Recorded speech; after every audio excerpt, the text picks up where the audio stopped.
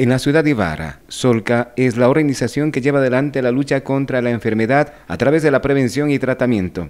La directora de este centro de salud señaló la misión a la cual se deben. Nosotros como Unidad Oncológica Solca Imbabura, dependiente del núcleo Solca de Quito, pues estamos eh, em, encaminados a esta gran labor en la prevención sobre todo. Es lo más importante, es más beneficioso prevenir esta enfermedad que curar. Por otra parte, hizo mención a la detención oportuna de esta enfermedad catastrófica a fin de empezar el tratamiento con éxito cuanto más antes sea detectada en sus estadios iniciales, pues el paciente va a tener mejor pronóstico y mejor oportunidad de, supervivencia. El cáncer en los últimos años ha crecido sobre todo en las mujeres. En su mayor incidencia el cáncer de mama, mm, aproximadamente con un 38.5%.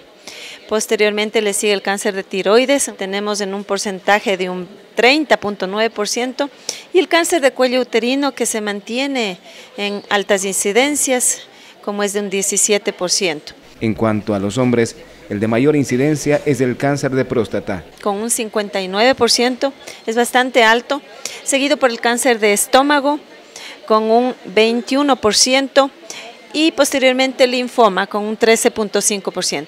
Pero además del tratamiento médico, es importante el apoyo familiar y de amigos, que constituyen una de las mayores fortalezas para sobrellevar y salir adelante, lo explica la doctora Carmen Moya. La unidad de la familia, el apoyo de los amigos, a más de eso, realmente yo como creyente pues la parte espiritual es fundamental para salir adelante en una enfermedad catastrófica como la que tenemos todos los pacientes que tenemos del cáncer. Con cámaras de Diego Martínez en Ibarra para TVN, canal Germánico Guamán.